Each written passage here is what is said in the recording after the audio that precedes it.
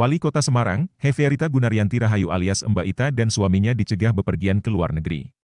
Juru bicara KPK Tessa Mahardika Sugiarto mengatakan, Komisi Pemberantasan Korupsi telah menerbitkan surat keputusan nomor 888 tahun 2024 tentang larangan bepergian ke luar negeri terkait dugaan korupsi di pemerintah kota Semarang. Atas sama empat orang, yaitu dua orang dari penyelenggara negara dan dua orang lainnya dari pihak swasta, kata Tessa dalam konferensi pers di Gedung Merah Putih KPK, Jakarta, Rabu, 17 Juli 2024. Tessa tidak mengungkapkan siapa saja nama-nama orang yang dicegah ke luar negeri. Berdasarkan informasi dari internal KPK, empat orang yang dicegah adalah Mbak Ita.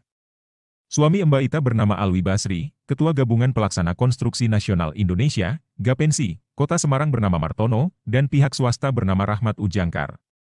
Tessa menyebut, dugaan korupsi di Pemkot Semarang ini menyangkut pengadaan barang dan jasa di lingkungan Pemkot Semarang tahun 2023 sampai 2024.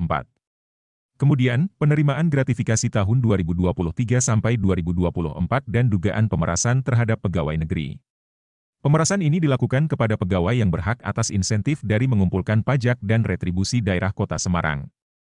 Larangan bepergian ini berlaku selama enam bulan ke depan, tutur Tessa. Sebelumnya, Wakil Ketua KPK Nurul Gufron membenarkan penyidik menggeledah kantor Wali Kota Semarang. Hefearita Gunaryanti Rahayu atau Mbak Ita, pada Rabu, 17 Juli 2024. Download Tribun X sekarang, menghadirkan lokal menjadi Indonesia.